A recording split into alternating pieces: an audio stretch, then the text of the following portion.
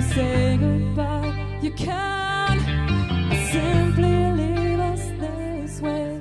When we learn to get along well, you were torn